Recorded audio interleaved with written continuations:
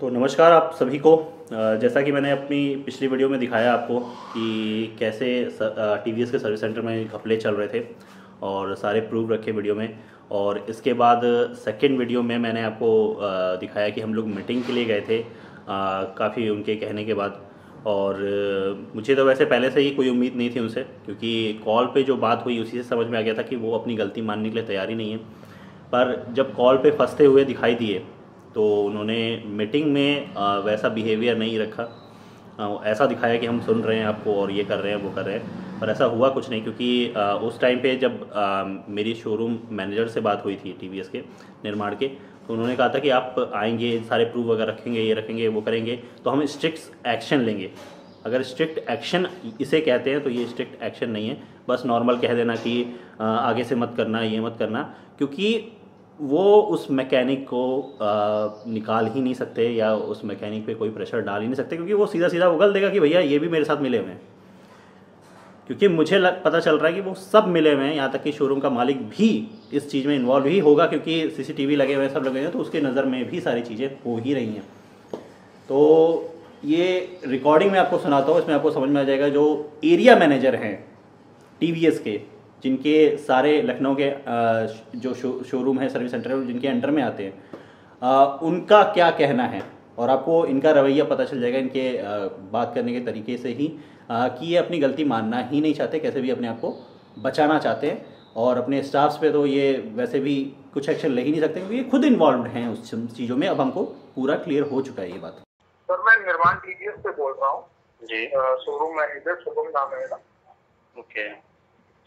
Sir Pradeep ji बोल रहे हैं ना जी सर अभी आपसे मतलब जो भी मेरे स्टाफ की तरफ़ से बिहेवियर हुआ है उसके लिए मैं सॉरी मतलब आपको बोलता हूँ लेकिन अभी ऐसा आप बस मेरे से एक बार रिक्वेस्ट ये है कि वो मुझे एक्शन लेना है अब ये लेवल तक तो बात जा चुकी है तो मुझे एक्शन लेना है अपने स्टाफ के ऊपर जो भी सर ऐसा मिसबिहेव जो भी हो रहा है।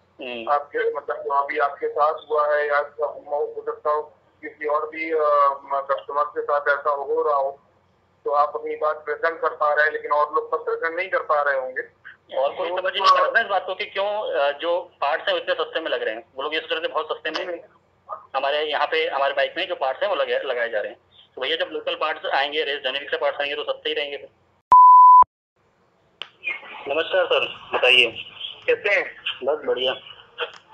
सर एक वीडियो मिला आपका आज यूट्यूब पे है ना? निर्माण में कुछ कंसर्न रहा आपको क्या दिक्कत आ रहा है उधर? ये वीडियो मैंने पहले भी डाला था। तो मुझे कुछ ऐसा सोल्यूशन देखने के लिए उस दिन तो माफ़ी मांगने लगे मैकेनिक जो थे। तो मैंने बोला चलो ठीक है। पर अभी भी मुझे कुछ सोल्यूशन नहीं दिखा तो इस वजह से मैंने फिर उसको रिअपलोड किया है। और मेन ये है कि बगल के जो रेस डायनेमिक है उससे इनका क्या कांटेक्ट क्या संबंध मुझे नहीं समझ में आ रहा है। डायनेमिक बगल में एक है लोकल ये एक सर्विस सेंटर है और स्पोर्ट्स बाइक में सब सर्विस सर्विस करता है। तो ये कांटेक्ट में रहते हैं। नहीं हाँ। तो इसलिए आप आप तक ये बात नहीं पहुँची होगी अभी तक। तो मेन ये चक्कर है और वहाँ वहाँ से बात करके वहाँ के पार्ट्स इधर से उधर किए जाते हैं। ये सब चीज़ें हैं। नहीं नहीं मैं अभी भी समझा नहीं मैं मतलब आपके साथ कुछ पार्ट का कुछ हुआ है क्या? हाँ हाँ बिल्कुल बिल्कुल बिल्कुल। जैसे कि कुछ तो पार्ट मेरी बाइक में लगाना हो तो उनका सर्विस सेंटर में से ना लेकर वो वहाँ से लेकर फिर लगाया गया है। ठीक है? प्लस पार्ट कौन सा पार्ट एक तो बैटरी हो गई। बैटरी वेस्ट डायनेमिक से थोड़ी आई। बैटरी तो आपके एग्रीमेंट के साथ है ना बाहर मार्केट से आई है ना सर बाहर मार्केट से आई आप बाहर से खरीद के दिए ना बैटरी। बैटरी क्योंकि टीवीएस नहीं बनाती। बैटरी तो हम परचेज ही करते हैं ना। तो परचेज करते हैं तो इसमें आपने ऑथराइज कौन कौन सी कंपनी की बैटरी है? नहीं नहीं ऑथराइज तो देखो एमको है अपनी एमरॉन है एक्साइड है टाटा है है ना? हम्म, हम्म। ये सारी बैटरियाँ हैं। अगर इसमें तो कोई भी बैटरी तो दूसरी भी लगवा सकते हो। इसमें से कोई भी बैटरी नहीं थी और प्लस देखो बैटरी भी चेंज नहीं करानी गई थी करानी थी वो प्रॉब्लम कुछ और ही था बैटरी चेंज कर दी गई। मुझे प्रॉब्लम आ रही थी कि बाइक नहीं नहीं बैटरी बैटरी बैटरी पट्टी की जो चेंज की गई वो आपके कंसेंट के साथ की गई या बिना बताए कर दी गई? बिना बताए कर दी गई। ऐसा मुझे कुछ और प्रॉब्लम मुझे कुछ और थी। मुझे प्रॉब्लम कुछ और थी हाँ। और मुझे बताया गया कि बैटरी की वजह से प्रॉब्लम है। हम्म, हम्म, तो आपकी जो प्रॉब्लम थी वो बैटरी के बाद सॉल्व नहीं हुई? नहीं सॉल्व हुई। फिर इसलिए मुझे सेकंड डे फिर जाना पड़ा सर्विस सेंटर पे। अच्छा। और मैं ये दो ही बार गया निर्माण के सर्विस सेंटर में नहीं तो मैं टीवीएस मैं जानता भी नहीं था निर्माण सर्विस सेंटर कहाँ पे ये फ़र्स्ट टाइम गया तभी मुझे पता चला। अरे तो बैटरी के अलावा और क्या पार्ट नॉन डिज़ाइन डाला गया? है कुछ साइलेंसर मेरे बाइक में लगाया गया था उसको निकलवाने गया था मैं सेकंड डे वो तो आपने लगवाया था अपनी मर्ज़ी से तो वो निकलवाने की मैं क्या पूरी बात तो सुनिए पूरी बात एक बार सामने सुन लीजिए उसके बाद बताइए। मैं हाँ जब निकलवाने गया हूँ तो बोला गया कि मैं आपका सेल करवा दूँगा। ठीक है? मैंने कोई ना इंटरेस्ट यहाँ से दिखाया ना कुछ वो पीछे पड़े हुए सेल करा दूँगा। मैंने चलो ठीक है सेल करा देंगे आप। ठीक है। आ, तो मैं गया हूँ कि जिस जिसने लगाया था मेरी बाइक में एक बार मैं उससे कंसल्ट कर लूँ कि वो अगर परचेज करता है मेरे से मतलब वापस मेरे से लेता है ठीक है? तो मैं उसको दे दूँगा ना कि मैं आपसे सेल करवाऊँगा। ठीक है? तो जब तक मैं वहाँ पे पहुँचा हूँ तो इनने पहले ही कॉल करके उसको बता दिया कि तुम्हारे यहाँ पे एक तुम्हारी एक बाइक आई है मैंने और वो साइलेंसर निकलवाने आए हैं। तो वो मुझसे प्रेशर बनाने लगा कि तुम साइलेंसर क्यों निकलवा रहे हो तुम्हारी बाइक निर्माण पे खड़ी है ना तो मतलब अभी तक मैं उसको कुछ बताया नहीं उसको पहले से पता चल चुका है हर बात साफ़ सी बात है मैंने यहाँ पे मैकेनिक को भी देखा कॉल पे लगा हुआ है और वहाँ पे वो जो रेस डायनेमिक का ओनर है वो भी कॉल पे लगा हुआ है तो ये एक दूसरे के टच में थे और जब मैंने उससे पूछा तो कहीं भी टच हो सकते हैं अगर ग्यारह ग्यारह टीवीएस के मैकेनिक भी मार्केट में हो सकते हैं रफ्तार के भी मैकेनिक मार्केट में टच हो सकते हैं मैकेनिक को हम रोक नहीं सकते ना टच पे। लेकिन उन्होंने आपकी गाड़ी में क्या नॉन डिज़ाइन पार्ट डाला है बाहर से रेस डायनामिक से लेके वो आप मेरे को थोड़ा क्लियर करेंगे तो मैं बाहर बाहर जाके मुझसे अलग से अलग से ये भी ये भी आपका रूल है कि बाहर कस्टमर को ले जाके अलग से पैसे मांगे जाए?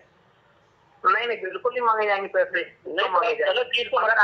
अगर उसने पैसे मांगे हैं नहीं नहीं मैं ये बोल रहा हूँ अगर उसने पैसे मांगे हैं हम्म। तो हमारे वर्कशॉप में हायर अथॉरिटी भी होती है ना सर्विस एडवाइजर वर्कशॉप मैनेजर आपने उनको इन्फॉर्म किया उसी दिन मेरे को जब पूरा घपला ही लगे मेरे को मैनेजर भी घपला ही घपला ही अब बात ही समझ रहे दिक्कत ही है। प्रॉब्लम ये है मैं पूरी बात अभी तक कह नहीं रहा बीच में आप स्टार्ट हो जा रहे हैं। पूरी बात सुनिए पहले। आप पहले एक एक बार पहले आप पूरा बोल लो है ना उसके बाद मैं वही कह रहा हूँ बात ही सुन रहे हैं। बीच में पता नहीं क्या मैं सर सर सर सर आराम से आराम से ना? आराम से। मेरे को पूरी बात बता दो। मैं आपसे आपसे बात करता हूँ। हेलो? जब मेरी बाइक गई है उसके बाद जब मैं वापस आया हूँ सर्विस सेंटर पे जब मैंने पूछा मैकेनिक से कि आपने क्यों रेस में को ये सब बताया तो उसने बोला मैंने नहीं बताया मैनेजर ने बताया। मैंने मैनेजर को बुलाया। मैं बोला आपने क्यों बताया कि मेरी बाइक यहाँ खड़ी है और इससे क्या बोलते हैं साइलेंसर निकल रहा है? उसको क्यों ये बात इंफॉर्मेशन मिल गई आपके थ्रू वो मुझे क्यों प्रेशर बना रहा है कि मत निकलवाओ? एक लोकल सर, वो क्या बोलते हैं साइलेंसर जिससे मुझे शक है कि उसी वजह से प्रॉब्लम हो रही है मेरी बाइक पे। और उसके बाद मैनेजर बोल रहा है कि नहीं मैंने आपके लिए नहीं मैं किसी और कस्टमर को की बाइक में लगाने के लिए बात की थी। दिक्कत ये है कि हर अगर मैनेजर तक मिला हुआ है उनसे सब मिला हुआ है तो मैं किस हायर अथॉरिटी के पास जाऊँ मैं? प्रॉब्लम हर जगह से है एक जगह से नहीं है। मैं कह रहा टीवीएस गया मुझे कोई प्रॉब्लम यहाँ पे नहीं दिखाई दी। मेन इशू ये है कि मुझे हायर अथॉरिटी भी उसके साथ मिली हुई दिखाई दी इसलिए मैंने मैं सही समझा कि मैं उसको पब्लिकली उसको आ, मतलब बताऊँ। ये प्रॉब्लम हुई है। ठीक है अभी आपकी बात खत्म हो गई अब मैं बोल सकता हूँ। बिल्कुल आप बोलिए अब। अच्छा मैं ये बोल रहा हूँ वहाँ वर्कशॉप मैनेजर कौन है आपको पता है? उधर है कौन वर्कशॉप मैनेजर वर्कशॉप मैनेजर कौन है बताइए। जो मुझे वहाँ नहीं आपको आप जिसने बताया मुझे कि मैं हाँ, हमसे जो बात हुई है। जिसने बताया मुझे कौन है वो वर्कशॉप मैनेजर और जो निवेश एक निवेश करके हैं आपके यहाँ से से मेरे ख्याल से फ़र्स्ट फ़र्स्ट बाइक वही परचेज किए थे तो उन्होंने ही मिलाया ये वर्कशॉप मैनेजर है। वर्कशॉप मैनेजर वहाँ पे राकेश यादव जी है बात कर रहा हूँ राकेश यादव जी। उन्हीं की बात कर रहा हूँ उन्हीं को मैंने पूछा था उनको पूछा था कि मैंने कि आपने क्यों ड्रीम्स जाने को ये सब बातें बताई हैं?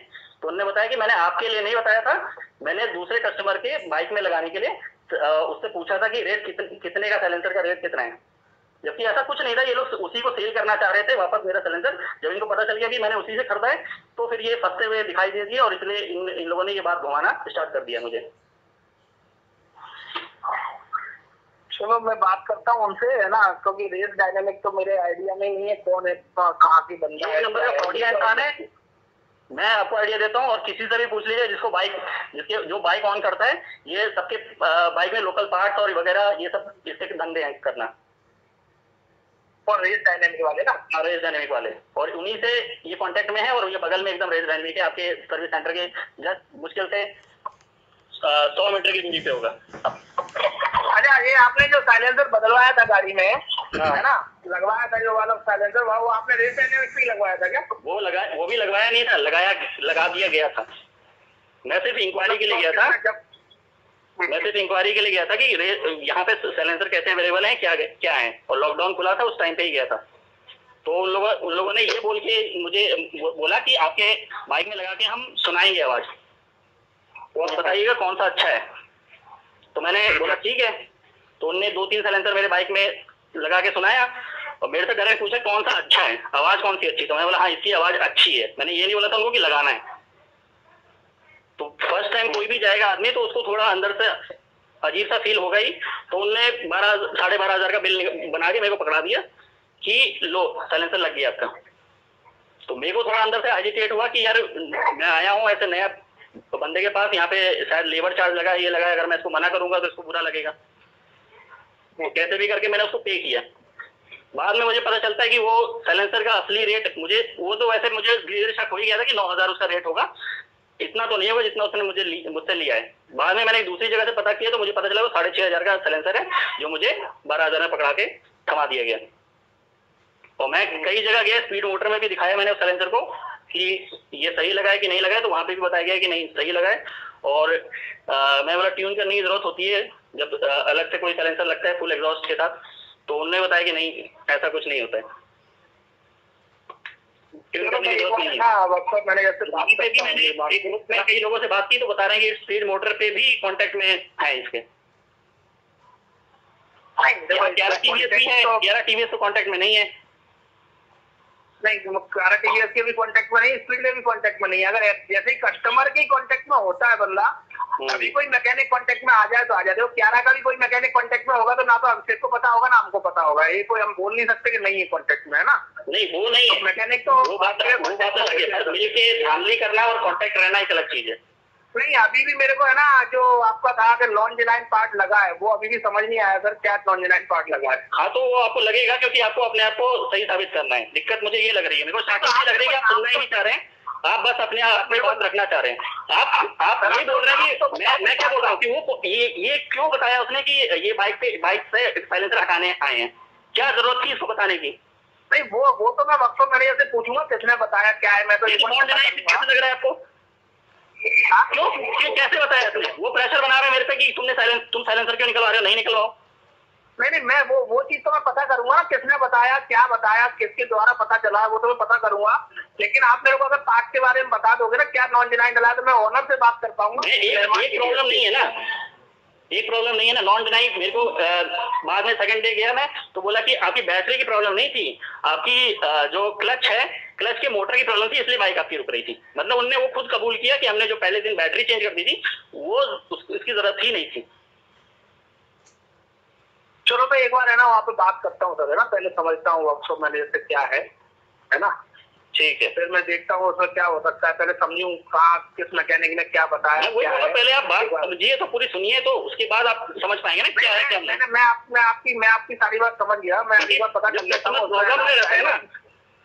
तो वो और ज़्यादा टेंशन में आ जाता है। मैं उसकी बात नहीं सुनी जाए तो फिर वो और ज़्यादा टेंशन में आएगा। नहीं आप सही बोल रहे हो बिल्कुल सही बोल रहे हो। मैं समझ गया आपकी बात मैं पता करता हूँ। बाकी तब तक आप मेरे को पार्ट में कल एक बार बात करेंगे तो पार्ट बता देना सर है ना? कौन सा गलत चला तो वो भी एक बार बात कर लेंगे। मैंने अभी भी बता दिया वो बैटरी जिसकी ज़रूरत नहीं थी चेंज होने की फिर भी वो चेंज किया गया। वो भी पता नहीं कौन सा अननेसेसरी चेंज हुई है वो ठीक है पर नॉन डिनाइन नहीं बोल सकते ना उसको क्योंकि बैटरी तो कब आप बोल रहे हैं ना मैं तो बोल ही नहीं रहा हूँ। नॉन डिनाइन मैं तो बोले बोला भी नहीं एक बार भी मैंने। नहीं नॉन डिनाइन आपने वीडियो में बोला है ना बिल्कुल बोला मैंने क्योंकि मुझे वो कंपनी समझ में नहीं आई कौन सी कंपनी है वो। मैंने कभी पहले नाम भी नहीं सुना उसका। चलो मैं एक बार बात करके है ना बताता हूँ ना। तो मुझे नहीं लगता मैंने केरा टीवीएस में भी पता किया मैं बोला कि इस तरह की कोई बैटरी रिकमेंड नहीं होती है टीवीएस की तरफ़ से। उन्होंने भी मुझे इन्फॉर्मेशन दी। नहीं करते ना हम बता दो हम तो तीन चार कंपनियाँ हैं हमारी ऐसा है। तो मुझे पता है मैं मैं चेन्नई में भी कॉन्टेक्ट है मैं वहाँ से भी कॉल करके पूछ सकता हूँ मुझे कोई दिक्कत नहीं है उसमें। तो मुझे यही इन्फॉर्मेशन मिल गई तो मुझे वहाँ तक जाने की ज़रूरत नहीं है। ठीक है सर मैं एक बार बात करते हैं है ना? बात पता करके फिर देखते हैं क्या है। ठीक है तो आपने सुना ये रिकॉर्डिंग और आपको समझ में आ गया होगा कि ये बिल्कुल भी ये चाहते ही नहीं है कि ये कोई स्ट्रिक्ट एक्शन लें। क्योंकि खुद फंस जाएँगे ना इस वजह से। और इन्होंने सिर्फ़ मीटिंग का ढोंग इसलिए किया था कि ताकि ये हमें मतलब समझा बुझा के, कैसे भी बच्चा समझ के, फुसला के और बस भेज दे कि हाँ भैया आगे से नहीं होगा। भैया ये तो मैंने जब पहली बार वीडियो डाली थी अपने दूसरे चैनल पे तो भी यही कहा गया था कि आगे से नहीं होगा। तो वो आगे कब आएगा? कभी नहीं आने वाला और हमें लगता है कि इन पर स्ट्रिक्ट एक्शन लेना ही पड़ेगा और ये वीडियो डिलीट कराने के लिए ये सब मीटिंग की नौटंकी हुई थी। अब कोई वीडियो हाइड नहीं होगा, कोई डिलीट नहीं होगा। और ये वीडियो को डिसलाइक करा रहे हैं अपने स्टाफ से। और आपको ये लग रहा है कि डिसलाइक कराने से आप सही साबित हो जाएँगे। तो ऐसा नहीं है भैया वीडियो में पूरा प्रूफ है। आप दिख रहे हैं घपले करते हुए। और जब मीटिंग हो रही थी, उस टाइम पे भी मैंने अपना मोबाइल का रिकॉर्डिंग ऑन रखी थी। वहाँ पे भी सारे डिस्कशन जो है वो रिकॉर्ड हुई है। तो सच कभी छुप नहीं सकता, जितना छुपा लो। आपको झूठ का सहारा लेना पड़ेगा एक दूसरे झूठ को छुपाने के लिए। इसी विचार के साथ आपसे अलविदा लेता हूँ। सत्यमेव जयते जय हिंद, जय भारत।